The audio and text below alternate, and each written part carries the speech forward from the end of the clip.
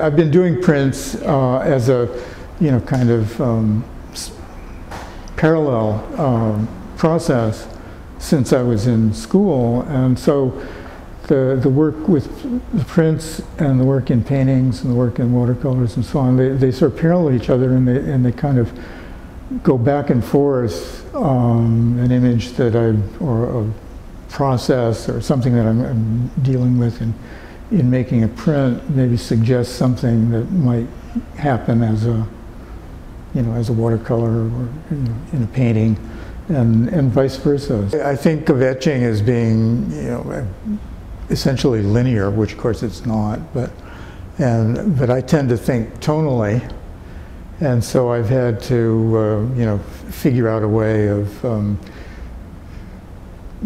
drawing tonally, but doing it in a way that I could kind of control. So that's why I came up with the soft ground. The images are um, things that are familiar to me for whatever reason. You know, sometimes it's because it's near where I live. I mean, fr- frequently that's what it is, but uh, sometimes it's um, things that I spot on my uh, routes around town. There's something that seems interesting and, and appropriate to what I'm doing. And then and sometimes I, will revisit areas that I've spent a lot of time, you know, like when I, where I grew up in Alameda and um, where I lived in Berkeley. I'll go back sometimes because uh, after you've been away a while, it um, takes on a fresh look. Go back and you see things you didn't necessarily see before.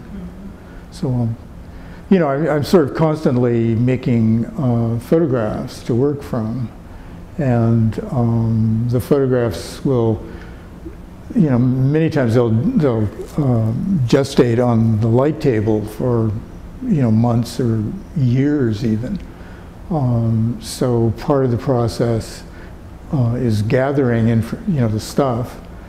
Uh, but just because I photograph it doesn't mean it I'll end up using it. I shoot a lot more stuff than I actually um, will use.